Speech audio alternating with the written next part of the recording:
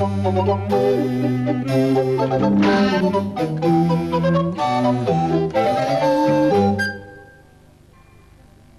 bekende kalmoeskruid heeft vele goede eigenschappen. Deze komen in smaak en geur het best tot hun recht in Hooghout Kalmoes Berenburg. Uit Groningen.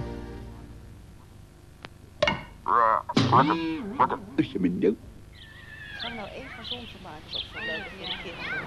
En gewoon uh, om de beurt naaien natuurlijk, moet je wel even goed afspreken. Maar, ja. Ah, nee, hè? Waar geknoeid wordt, wordt geknepen. Met shout. Knijp in de fles, spuit op de vlek. En in de gewone hoofdwas rekent shout af met de moddervlek. Shout, een simpel kneepje maakt inweek en voorwas overbodig.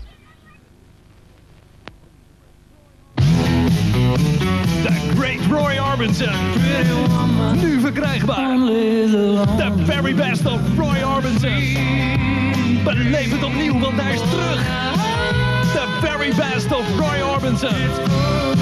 Op LP, cassette en binnenkort een perfecte CD.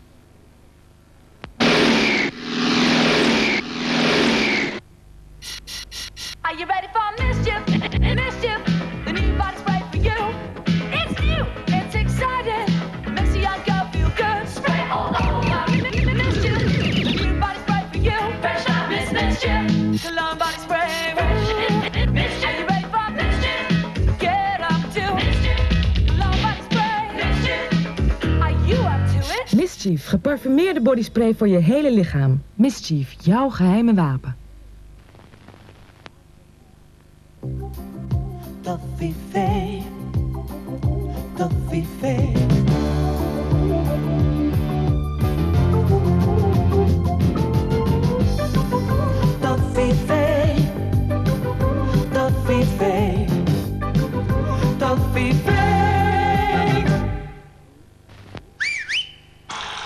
Hm?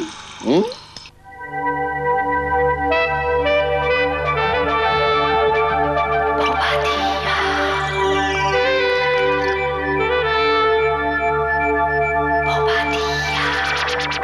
Samen een Bobadilla.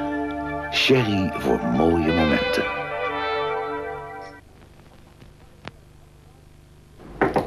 Morning, sir. Five o'clock. Voel het altijd zo vroeg. Ja,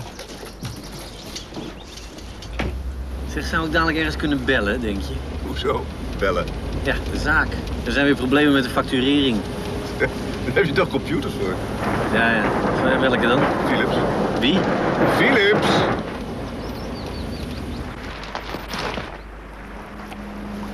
En je magazijnvoorraad dan? Ook Philips? Aha. Was zeker wel even wennen voor je personeel, hè? Nee, heeft Philips me opgeleid. Zo. En loopt er nooit eens iets stuk of zo? Nee hoor. En als er wat is, dan bel je eens even. En hoe doe je dan met al die verschillende vestigingen? Ah, simpel. Telecommunicatie is dan net een specialiteit van Philips. Hé, hey, zeg, en hoe moet het nou met vissen? Zoek dat zelf maar uit.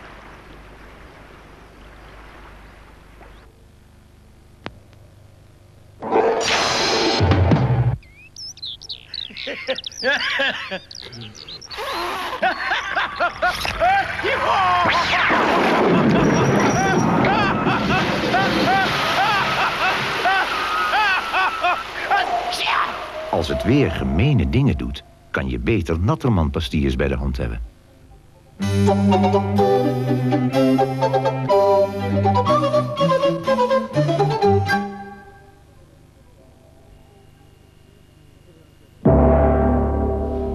Goedenavond, dames en heren. Door de explosie in een chemische fabriek in Basel blijkt de Rijn veel ernstiger vervuild dan tot nu toe werd gedacht. Bij de brand die volgde op de ontploffing kwam een rode kleurstof vrij. Een deel stroomde in de Rijn. Volgens het bedrijf was de stof niet giftig. In Duitsland wordt daar anders over gedacht nu in de buurt van Karlsruhe de vissen massaal doodgaan. Ook paling drijft rond, een vissoort die vrij goed bestand is tegen vervuiling. Ook in ons land wordt rekening gehouden met massale vissterfte als het vervuilde water hier komt. Om besmetting van het drinkwater te voorkomen moeten de drinkwaterbedrijven mogelijk maandag stoppen met inname van water uit de Rijn. Het Rijksinstituut Zuivering Afvalstoffen houdt de kwaliteit van het water scherp in de gaten. Direct na de explosie bij het chemisch bedrijf afgelopen vrijdag werd het rampenplan voor de stad Basel afgekondigd. Er was een gaswolk ontsnapt en iedereen moest binnen blijven. Later bleek de wolk niet giftig te zijn en ook over de ontsnapte kleurstof maakte het bedrijf zich geen zorgen, want ook die zou niet giftig zijn. In de Tweede Kamer zijn de regeringsfracties van CDA en VVD het met elkaar oneens over de vraag wat er nu met de ambtenarensalarissen moet gebeuren. De twee fracties trekken namelijk verschillende conclusies uit het rapport Albeda, waarin staat dat de overheid als werkgever tekort is geschoten. In Den Haag, Gerard Arninkhoff. Nou, die totale financiële ruimte in het regeerakkoord aangegeven is de komende vier jaar zo'n 2 miljard gulden. Ik denk dat uh, er binnen dat kader tussen de minister en de bonden van overheidspersoneel toch afspraken mogelijk moeten zijn. Dan maar loonsverhoging in plaats van arbeidstijdverkorting. Ja, ik heb er problemen mee om als lid van de Tweede Kamer, als lid van de VVD-fractie te zeggen... die ruimte is er en je moet het op deze wijze verdelen. Ik denk dat een van de elementen in de uitspraak van de commissie uh, Albeda nu juist is... zorg dat er open en reëel overleg mogelijk is. Maar de CDA Paulus denkt er anders over. Dat bedrag is er wel, maar is bestemd om arbeidstijdverkorting mee te betalen. Want langs die weg moeten er nieuwe banen komen, vindt hij. En werkgelegenheid staat voorop bij het CDA. Bij het CDA telt herverdeling van werk heel sterk. En daarom vind ik dat wat in het regeerakkoord is afgesproken... waargemaakt moet worden 20.000 tot 25.000 mensen weer aan werk geholpen. Daar is dat geld voor bestemd. Wat vindt u van de suggestie van de VVD op dit punt? Dat is een beoordeling van haar. Wij sporen op dat punt niet helemaal. President Reagan wil zijn revolutie, zoals hij dat noemt, de komende twee jaar voltooien. Zelfs met een congres waarin zijn tegenstanders, de democraten, geheel de dienst uitmaken. De Amerikaanse president zei dit vanavond in een toespraak tot de staf van het Witte Huis. Reagan reageerde voor het eerst op de uitslag van de tussentijdse verkiezingen die voor zijn republikeinse partij teleurstellend verliepen.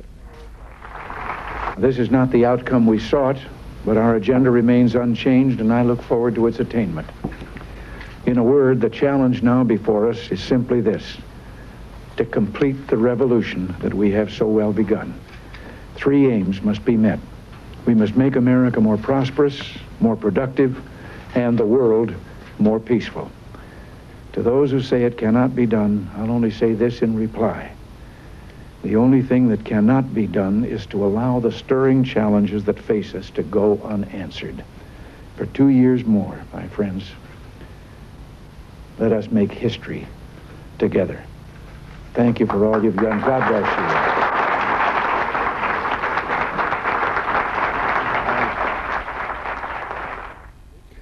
Voetbal. Twee Nederlandse clubs hebben de volgende ronde bereikt in het Europese bekertoernooi. Ajax en FC Groningen. In Athene speelde Ajax met 1-1 gelijk tegen Olympiakos. Ajax gaat door omdat het thuis met 4-0 had gewonnen. Groningen speelde ook met 1-1 gelijk in Zwitserland tegen Neuchâtel. Thuis was het 0-0 gebleven, zodat het ene doelpunt van Groningen de doorslag gaf. Feyenoord en slotte verloor in Rotterdam opnieuw van Borussia München-Gladbach, nu met 2-0.